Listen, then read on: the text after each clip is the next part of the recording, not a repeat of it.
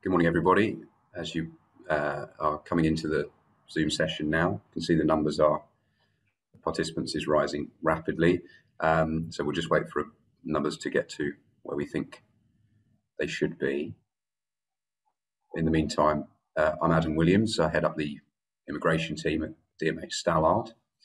I have with me Bermeet Chhokar as a senior associate in the team, and uh, we're going to be delivering this business immigration update in relation to new and uh, amended visa routes since uh, that are coming in from April 2022 this year. So um, a bit of backdrop to the session today. It's we've got an hour with some time. We're going to try and keep at the end for questions, and you can um, put your questions to us through the Q and A function on the Zoom uh, system. There, um, please use those for questions. If you have technical issues, please don't put them in the Q and A. Put them in the chat function. Um, they can be picked up there. Um, and we will um, spend about half of the, the, the, core presentation of the session looking at global business mobility as a new overarching banner for a number of different routes involving entities being uh, connected between the UK and overseas. And then we'll look at some of the new routes that aren't linked to that business banner necessarily, but are uh, often ones that individuals can use for um, visas to come to the UK without the need for sponsorship for example, around some of the things around uh, student visas and graduate visas. The focus is all going to be uh, on uh, uh the uh, recruitment of individuals and how that's going to work, um, and how these new changes might actually change the way in which you recruit, might give you more uh, more um, options and things that you can do um, and open up different ways to fill. Obviously, what is for a lot of people on this Zoom, I'm sure, um, the issue of filling skilled roles or shortage roles with suitable workers, where we have that uh, shortage at the moment. So uh, we're going to start on uh, global business mobility. And what I've done in, in the first slide we're going to look at is give an overview of the old routes. And broadly, we're talking about the routes that have been in place and that could be applied for up until April of this year early April this year. Um, and uh, we're going to look at how they've translated into new routes. So, um, looking at the old routes, we've got several different examples down the left hand side. There's representative of an overseas business, and that has become under the Global Business Mobility banner UK expansion worker. There's intra-company transfer in the sense of the more highly skilled, highly paid individuals employed by a commonly owned or controlled entity over, uh, overseas, outside the UK, moving to the UK um, with a graduate skill level role. That's now called senior specialist worker under the new Global Business Mobility banner.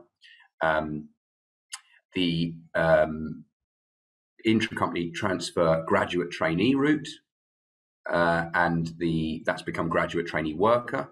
The T5 international agreement route, which wasn't sitting specifically under a sponsored work route before, uh, now moves into this broader category of global business mobility uh, as the uh, service suppliers worker route. And secondments, where they're actually in the in the position up to April this year, there were no formal dedicated routes for secondments transferring internationally into the UK. And now we have a new route called secondment worker. So we don't have a lot of time today, but we're going to go through each of those try to give you a good, solid sense of what they are and what they involve. And really, with the aim of you, you being able to piece this together and work out whether these are things that should be added to the mix of your recruitment plans for, for um, visa sponsorship, for example, if you're already a skilled worker sponsor, or actually, if you're not a sponsor yet, maybe these some of these things that come out today uh, will spur you on to become a sponsor uh, and, and use some of these routes to bring in um, the best possible candidate for roles rather than the best that is available and that already has a right to work in the in the UK. So looking at UK expansion worker then, the first on the list. Now this is relevant for businesses who don't have an established presence yet in the UK. Uh, it's important that employers know about it uh, and that you as, as senior people in HR and recruitment know about it because of course your business structures and where you work may change. Um, but it's particularly important if you've got an HQ overseas, replaces a former non points based system visa called representative of an overseas business. And it's really about the a visa entitling someone to move to the UK in order to act as the senior representative of that business to establish it in the UK. And there's some quite important changes that have come through from April on this. So the old route of, of what we call ROB has closed. Now it's a sponsored route called UK Expansion Worker under Global Business Mobility. And um, you need a sponsor license. And actually, if you don't have someone you've identified who's already in the UK as your senior individual that's going to be in the UK responsible for sponsorship, called the authorizing officer, then actually you have to apply for a sponsor license from abroad. So the, the entity outside of the UK applies for a provisional license so that that authorizing officer can fly into the UK with one of these visas and establish the, the setup and then get a full license and can potentially bring others in. You can have up to five workers use an, a UK expansion worker visa, but that will include the authorizing officer if they aren't already in the UK. So this is entirely new in terms of sponsorship. Um, it's something that the Home Office has introduced and I'm sure is working through exactly how it works when you've got entities overseas looking to demonstrate their genuine business and they have a business plan for the UK. Um, but to help by, we, have put examples in for each of these new categories to give you a sense of, of exactly how it might work. So in this case, we've got, um, this is actually a real life example, although it's been adjusted because um, obviously we're now in this new form of visa. And when we advised this business, we were using the, the ROB visa that has now since April fallen away. But you might have an Australian headquartered producer of beef with operations in Singapore and China, but it wants to expand into the UK. And it might be selling product into the UK, but it doesn't have an established presence. So it gets premises for operations in the UK, makes arrangements with customers to say we're going to be based in the UK, this is how we're going to operate, and then applies from Australia for a provisional license from the Home Office to sponsor the move of its head of sales Far East to the UK to manage that entity pre-trading and then for one or up to two years if, if the visa is extended of its operations. And once in the UK, that head of sales will be able to obtain a full A-rated sponsor license and then sponsor up to four colleagues to come over to assist with that establishment and expansion.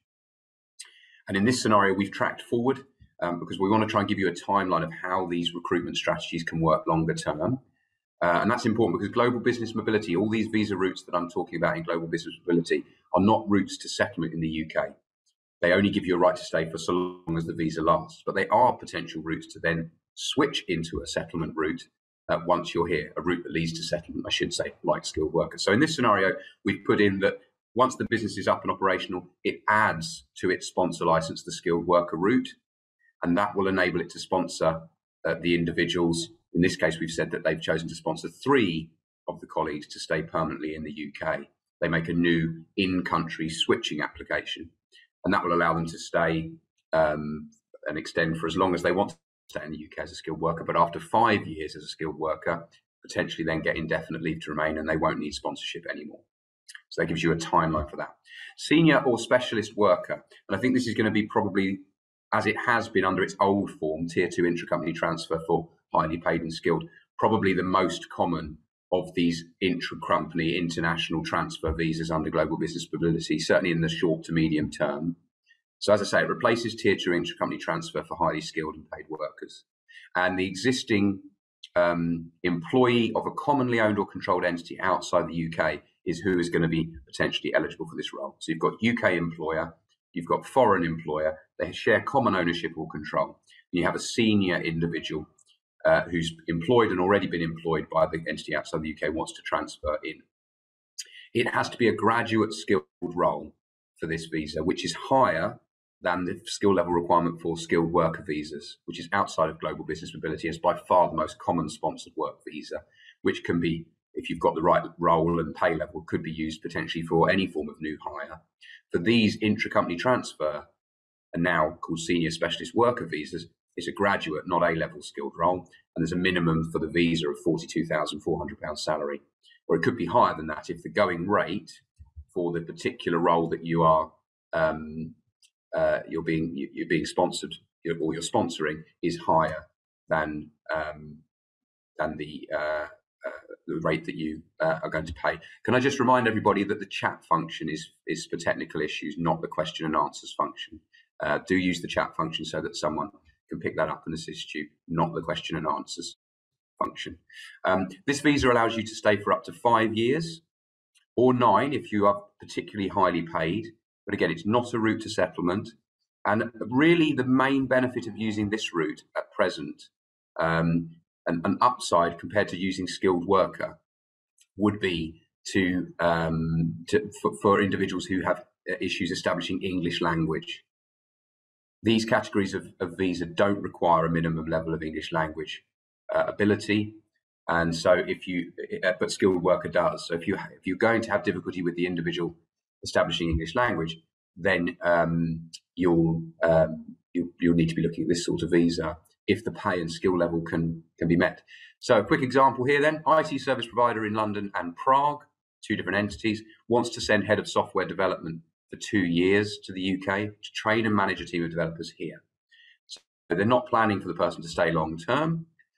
The business, UK branch of the business, gets a senior or specialist worker route license under Global Business Mobility, sponsors the manager for a period of two years. Could be longer, could be shorter, but that's the period they, they think they need the manager to be in the UK. Towards the end of that two years, they actually change their mind and they identify they'd like the manager to stay for another year. So they sponsor him for another year, but they don't just extend the senior or specialist worker visa. They actually have a skilled worker license, so they switch with sponsorship. He switches in to a skilled worker route visa just in case he ends up wanting to stay indefinitely, because that first year switched into skilled worker visa will now start counting towards the five that might be needed for indefinite leave to remain, whereas the time in senior specialist worker in the first two years won't. Um, the next is graduate trainee worker. This is a replacement for the intra-company transfer graduate trainee route. It's not that well known or utilised historically. Uh, it, it is for large scale structured graduate training programs. So a small number of sponsor employers use it. It could be highly valuable to you as recruiters, uh, particularly if you have a need for graduates um, and they're suitable for roles you want to fill. So, um, as you would expect, uh, there's a higher skill level for this one as well compared to the skilled worker visa, um, that separate category of a graduate skilled role. The individual will be starting on their pathway towards a career in that graduate skilled role. Um, the salary level is lower, recognizing that they're, they're just graduated and they'll be going through a trainee graduate structured program.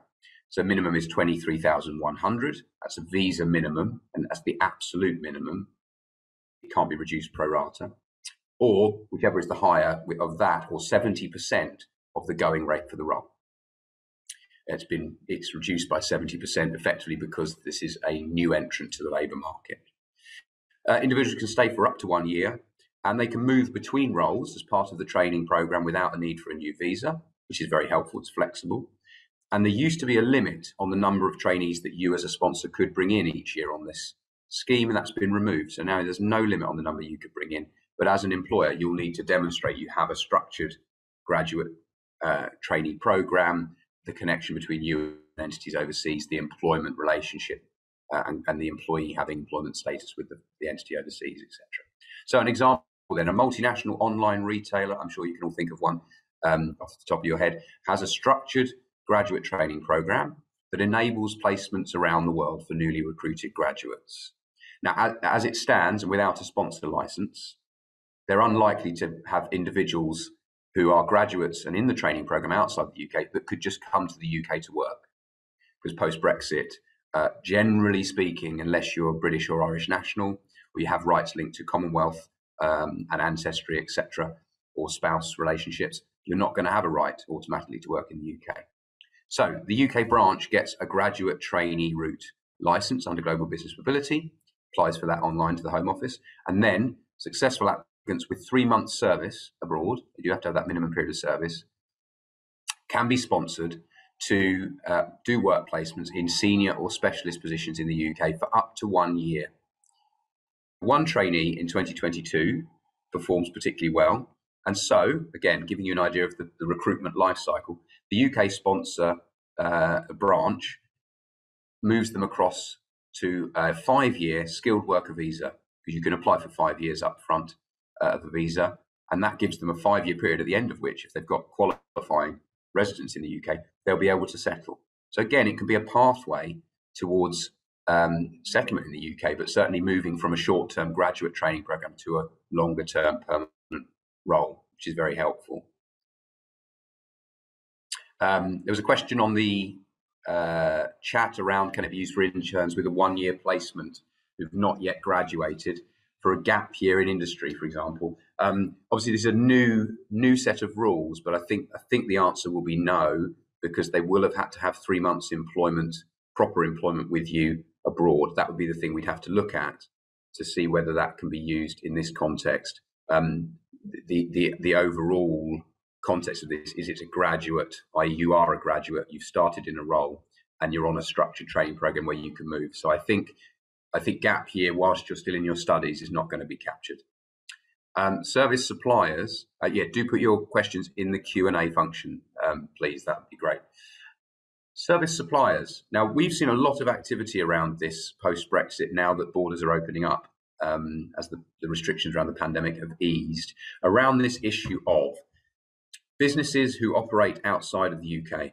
For example, European engineering companies, um, installers of things like furniture, uh, even um, you know high level context, uh, complex IT service providers who are have con- have commercial relationships with a UK client, and they need to come in and do certain things to deliver on that contract. That can be important for both the service supplier, who we end up often doing a lot of work with, but also for the UK customer who may be struggling to find local providers who have the skilled workers that can actually deliver on these sorts of contracts, whether it's building a new plant of for something, um, you know, commercial plant location or the other examples I gave.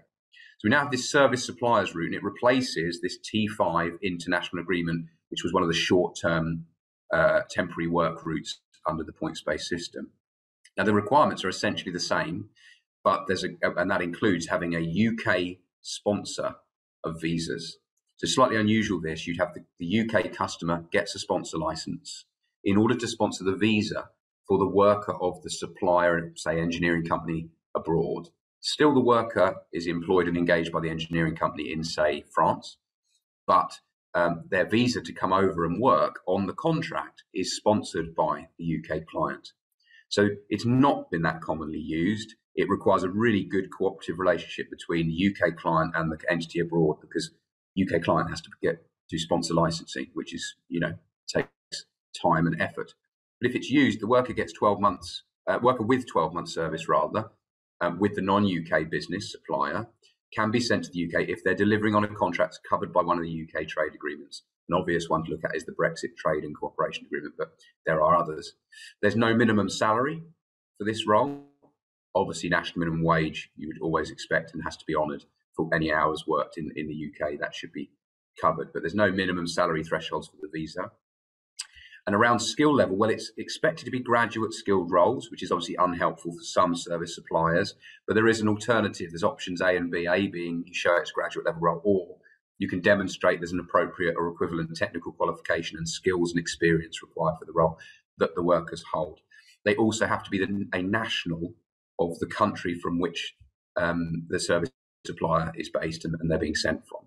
So let's look at a quick example uh, Dutch architectural firms got a contract to design a big new campus for a UK insurance broker.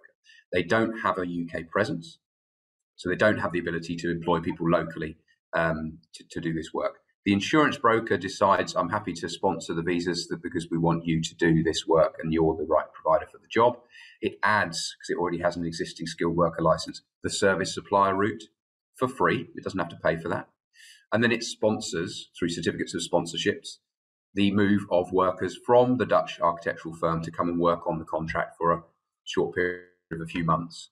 It can only do that though because the contract and the services they've checked uh, is covered by the EU UK Trade and Cooperation Agreement, and the chief designer is a Dutch national, the person they want to move across. So he's national of the country of, of, of seat of the architectural firm, and so can be sponsored. She can be sponsored to come and do the client side work to deliver the project. So it's important to keep that in mind if you might even be the client, or maybe some of you are not UK based and you're delivering services into the UK, you're going to possibly need to look at that. Um, secondment worker, then, this is an entirely new route under the points based system, new concepts to get used to, and it's for UK and non UK businesses who are in a, in a commercial relationship have a contract worth at least 50 million pounds. So we're talking large value contracts. Different ways in which you have to demonstrate that. If you can show you've got UK, non-UK business, 50 million pounds minimum value contract, workers with 12 months service at the non-UK entity can come to the UK for one, maybe extend to two years. They can extend to two years if they wish. There's no minimum salary requirement and it's a graduate skilled role. So you can see there's some similarities to the service supplier route here, but this is more about closer, longer term relationships between UK and non UK business and that high value contract. So here's an example French energy company has a contract with a UK engineering company to build a nuclear power plant. The company needs to send eight of its long standing workers to the UK for one year to collaborate on the project. Now, the contract value is 200 million, and so it's eligible for secondment worker route. And uh, the individuals come over, and as is not uncommon, I'm sure you will know people watching who are involved in recruitment and HR. Um, secondment is happening, and the UK company subsequently gets quite interested in keeping three of the workers for itself and agrees because they're still getting on, which is obviously nice, um, with the uh, non-UK company in France that it will sponsor them and, and take them on as employees through a change of employment application from within the UK. They can they don't have to leave the UK and come back to switch into skilled worker visas.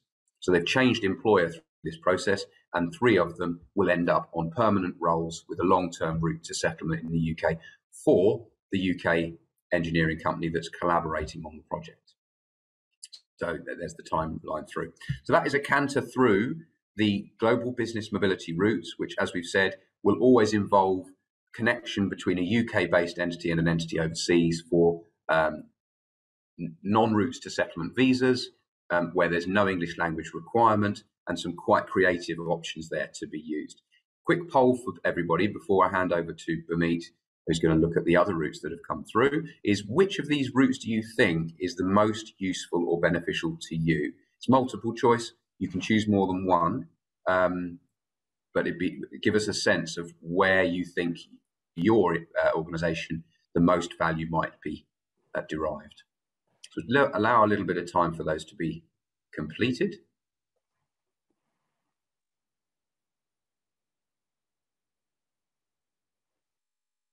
And while we're doing that, I'll just remind everybody do do, do pop questions into the question and answer uh, function if you have any of those. We should be getting the results of the poll shortly.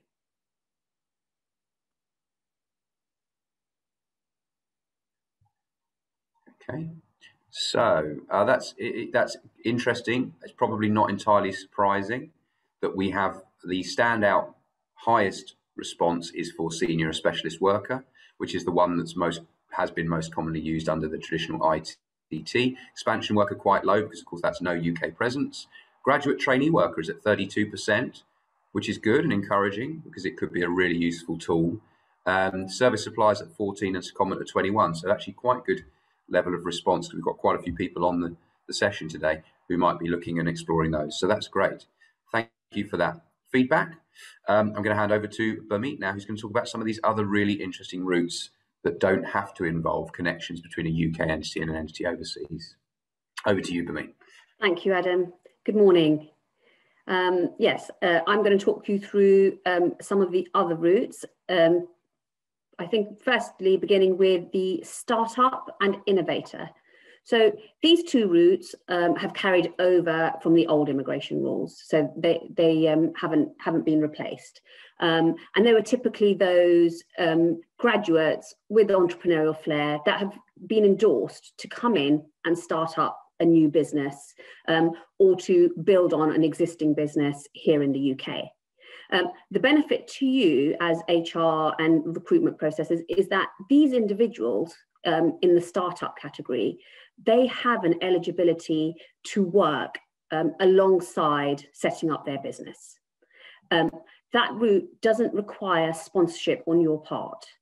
So there you've got the possibility to tap into young graduate talent, those that have uh, entrepreneurial flair, ideas, um, and are building their own business, but also could add something um, to your business without the requirement for you to sponsor them. So um, that is something to bear in mind. And I think the important thing to highlight here is that um, there are so many different visa route types under the old rules and the new rules over the transitional period. And it's important that you look to the right to work checks just to ensure that the individual that you are looking at does have that right to work for you without sponsorship. Um, and obviously, we can help you um, with that and to differentiate who can and who can't work uh, under the route that they're already on. so, and these two routes, they're both also open to switching. So if you do come across a talent um, with an individual who's already here on this kind of visa, but you'd like to bring them into the company and you have a sponsor license, then obviously you can move them and switch them into the skilled worker category. Now, this next um, new visa route, the scale up, this is a very exciting, very interesting route um, that is not going to require sponsorship. So this is definitely something that you may consider that your company may be eligible from, and the route is going to be open from August 2022.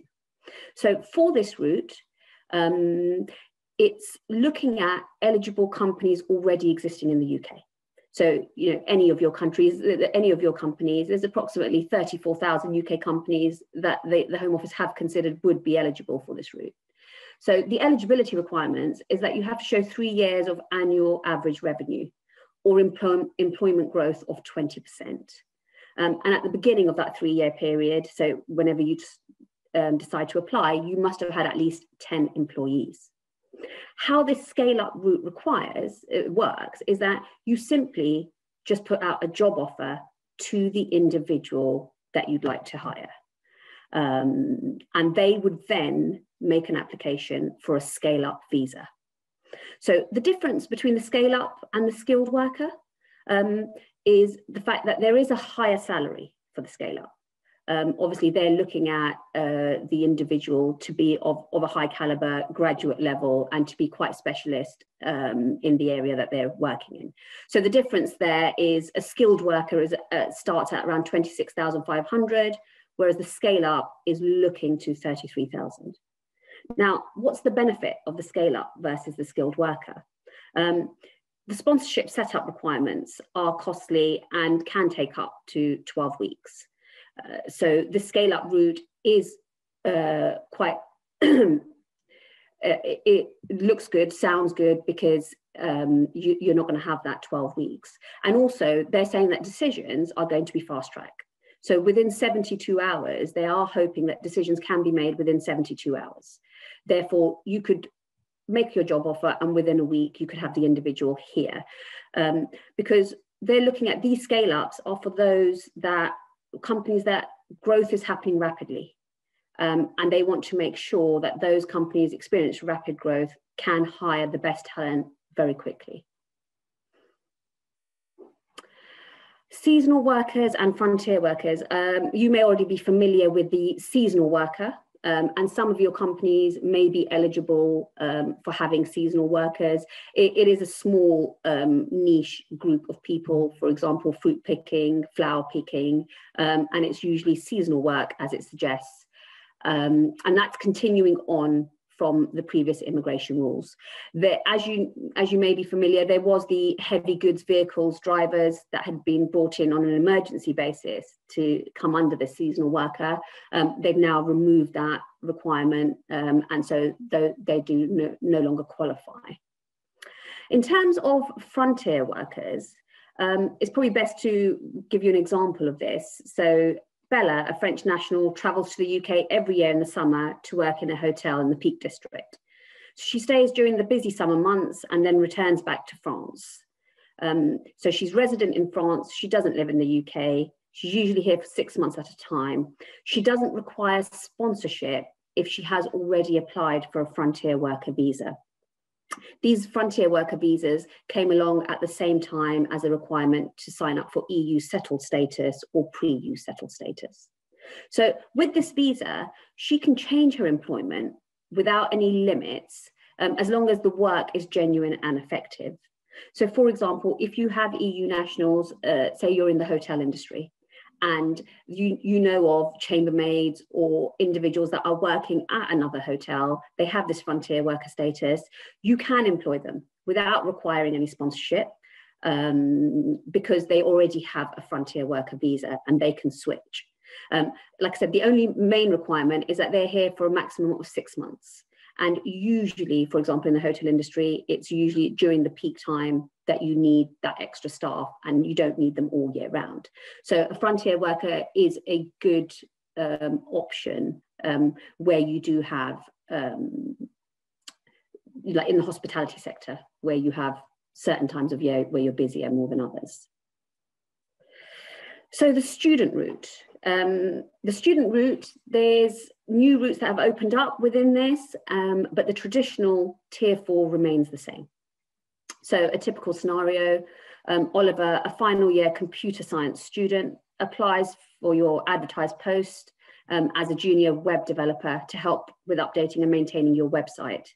He has the right background and he's been learning the web development as part of his course. So, he, and he's enthusiastic, lots of strong ideas.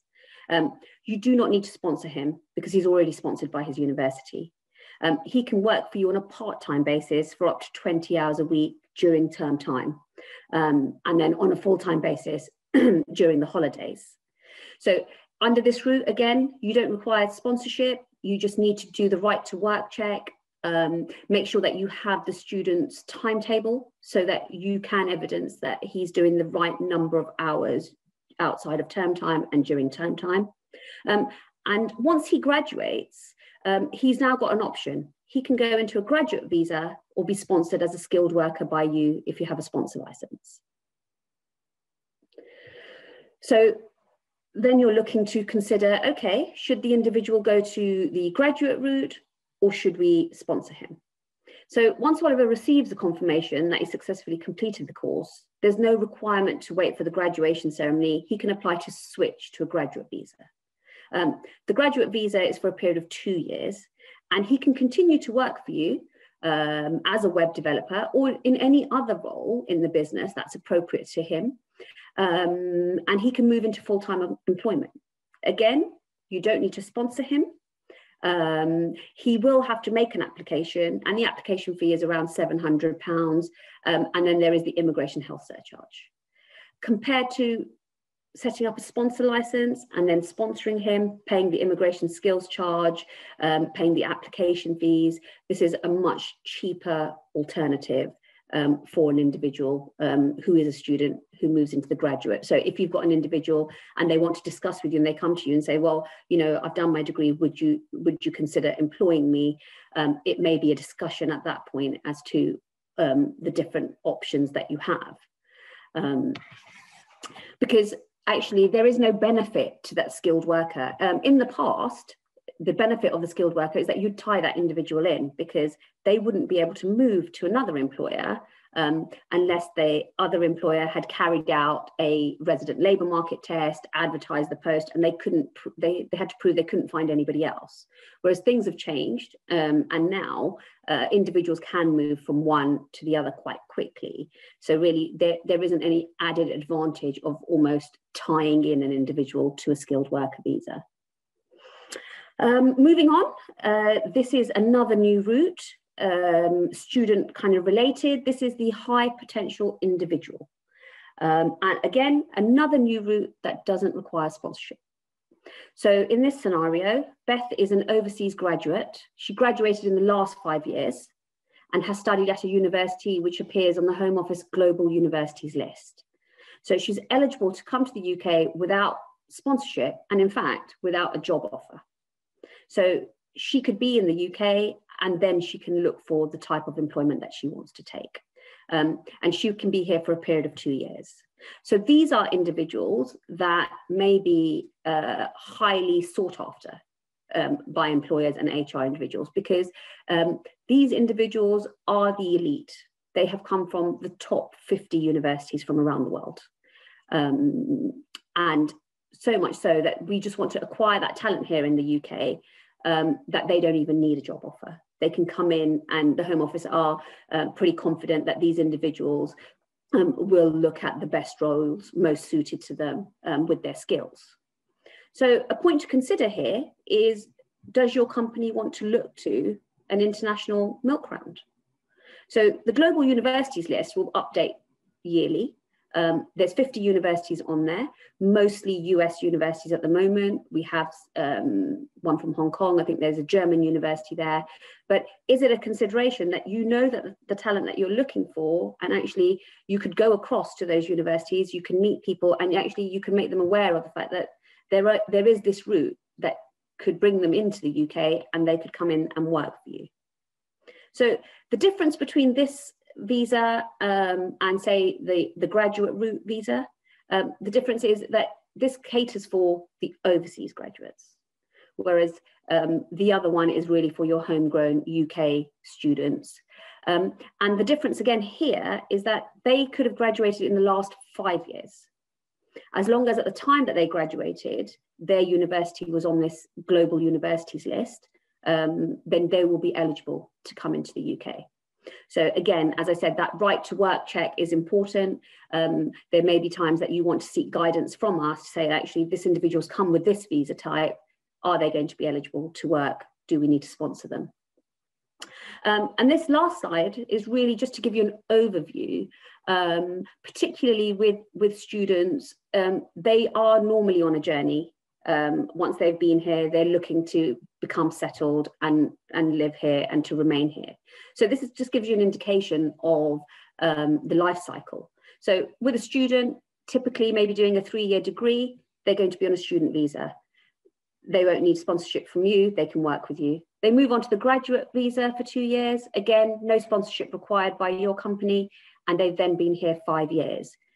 You then sponsor them as a skilled worker once you've seen that they're, they're doing a good job for you and you, they're the right fit for your company. And after five years, they can then move into a settled worker and get indefinite leave to remain. At this point, you no longer need to sponsor them. Um, they have the right to work here. There's no additional costs for you anymore. So that's the longer term route.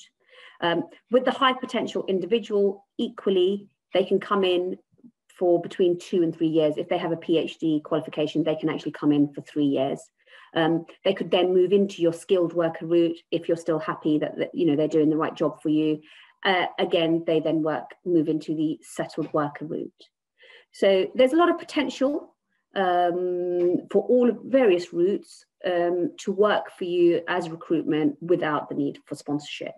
Um, equally, as Adam has said, there is so many uh, routes that do require sponsorship. So there's a whole array um, of options for you.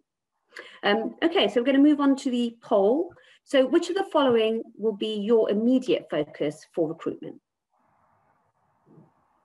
Yeah, so on that list, we've got uh, single choice this one, so it has to be the most important. So becoming a sponsor of migrant workers, we've got using your existing license to transfer workers from abroad, we've got checking your systems and processes are compliant for sponsor license duties, so that you don't risk losing the license. Uh, recruiting or sponsoring students for long term work, and then recruiting students for short term work. Uh, moving workers to set up uh, new UK ops or UK terms of employment for migrant workers. And that would include things like, well, what terms are we meant to have about our, our rights to report certain changes to the Home Office about them or their obligations to us in terms of changes that they need to tell us about. So there's a lot to choose from. And results come in. That's quite a mix there for me, isn't there? Mm-hmm. Um, the, the two that are standing out as the two highest at 27 and 31% of answers, so collectively they're making up nearly six, 60%, are using your existing license to transfer workers from abroad. So that may be involving global business mobility as an alternative to skilled worker.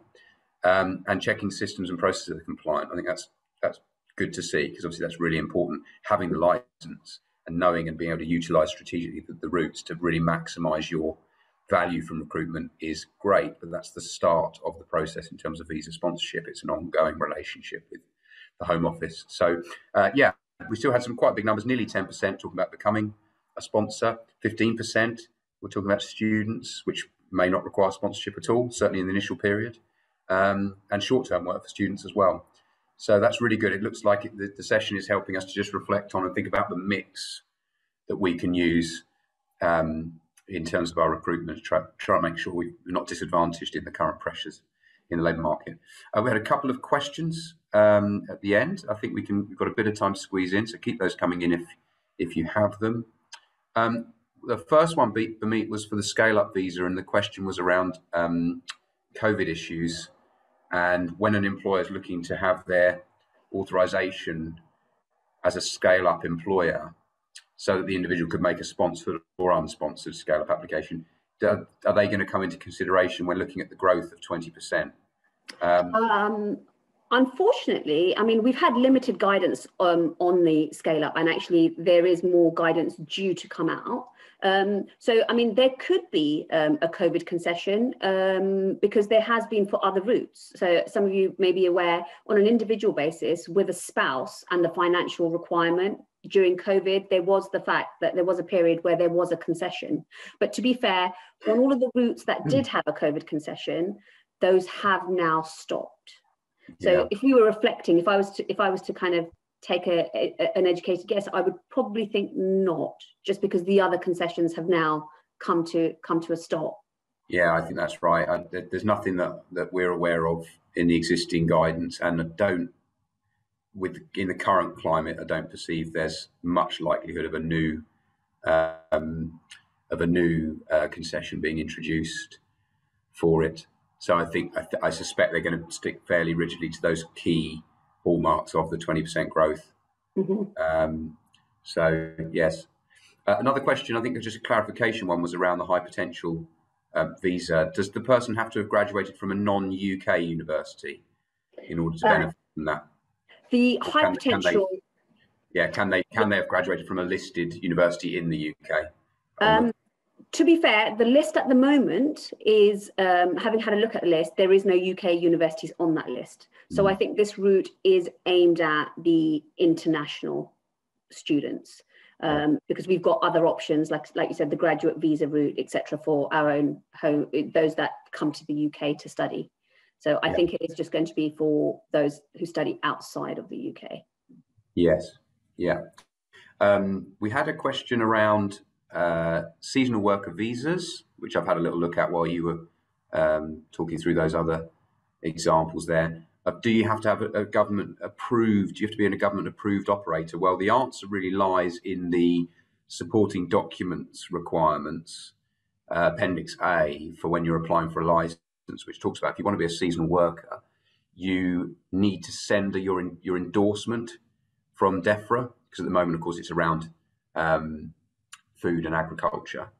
And of course, the, when you're going to do that, that will have required you necessarily to have gone through some information process and sharing with DEFRA um, their request for information exercise to have that recognition. So it's not formally that you need to be going via a government approved op- operator, but you would, as the scheme expands and other routes uh, open, be like the DEFRA situation. We, it's, it's likely you will need to have some recognition and formal approval from a relevant sector regulator or, or overarching governing body. I think um, is the answer to that one. Mm-hmm. Um, another question on the uh, scale up visa. If it starts in August, how soon can we look to make an application? Uh, can we do it in advance with a view to start date for the employee being in after August? Well, yes, yes, yeah. Go on, go on. Please, yeah, certainly. Um, I mean, uh, it would be now is a good time. So this is this is quite an, an exciting route, and I think actually now is a good time for you to get in touch with us. Um, we'd offer you a consultation and look at whether your company actually may meet the eligibility requirements for that scale up. And yes, we can do that preparation um, and make those applications so that individuals can come in when that route opens up in August.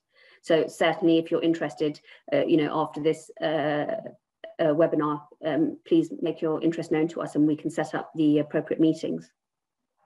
I think yeah. there was another question about the scale up in terms of can you bring family yeah. members? Um, yes. Yeah, and I think the answer to that is yes, you can. Um, yeah. So a lot of these routes, yes, you can bring your dependents. Um, so again, another uh, reason why that scale up is really looking like um, a good visa route. Yeah, I think that, that and that's partner and dependent children, isn't it? And mm-hmm. the thing to think about, and one of the things that we end up as a team doing once you dig deeper into this, and we, are obviously keeping a, a helicopter view on today's session, is the cost benefit analysis. Now, depending on whether the employer is going to cover some of the costs associated with the individual's actual, actual visa application, that can be quite important because you've got an immigration health surcharge. It's over £600 for each year of the visa for the lead applicant, and that's payable up front. There's a few hundred pounds then again for each of the dependents. So it is a route, and several others will allow dependents. But some of the strategic planning has to be okay, well, how much does that cost? Who's going to bear that cost? If we're going to cover it, are we going to have clawback provisions? Because there's always a risk that someone will join us in the UK and then will um, will leave. Particularly now post 2020, when we've got that greater ability, as Bermeet mentioned earlier, to change employer and sponsor. It's not quite the same value of employment that's dedicated to the sponsor as it was. It's still pretty sticky, if I can put it that way is much it clearly is harder to change jobs if you're a sponsored visa holder than if you're not and you, you're just freely moving in the domestic labour market. But it is possible much easier than it was because there's not 28 days of advertising that must have been done by an approved sponsor before they could even offer the role to change. So with that sort of risk the flight risk you're looking as an employer aren't you and saying well the, the, the route works but what are the costs? Who's going to pay what? Are we going to require that some's paid back? If so for how much has to be paid back for how long, because you've got penalty clause issues from an employment law perspective. So it's really about when you dig deeper, talking about things like, okay, if this route works, what type of roles does it work for?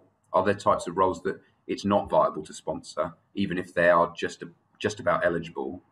Because we need to be able to articulate why things like discrimination risk. You know, well, why have you sponsored that person for a skilled? I know that person's got a scale up visa and you're sponsoring them, but you're rejecting me, that's quite tricky to answer unless you're able to articulate, look, as a as a policy, as an employer, our cost benefit analysis and our the value of the roles have all been assessed and roles in this level that you're applying for sit below what we can sponsor. Got to have that consistent methodology. So that's a lot of the work that comes next in saying we want to pull on all these routes and use them, maximize value. But we also need to think about the detail of when do we use them, are we only going to pay for the individual's costs in certain scenarios for certain value roles? Are we only going to use this route for certain value roles and scenarios? How do we articulate that? Um, so that, but that is something that will pay dividends, I think, for most employers going forward. If you've set that up right, you're going to be right at the front of the pack in terms of your ability to look like an employer of choice, because you can offer these opportunities to a, the widest array of applicants as possible, and also give yourself maybe a competitive edge as a result in the, in the, in the labour market. So um, there's lots of that detail underneath around things like dependence. So um, good. We've had lots of questions. As Bermeet said, um, we are able to offer initial consultations, um, Zoom consultations, if people want to uh, start talking about their journey towards maximising or even starting to use some of these routes or sponsorship. So we'll set out details of, of, when those slots would be available and how you can ask to have one of those um, conversations if you're watching live, of course, um, and not watching this on a on a recording at a later date. Um, and that that will be great if people want to look at it further. Thanks everybody for attending the session today, and uh, and I look forward to seeing you at another session uh, soon. Thanks very much. Thank you.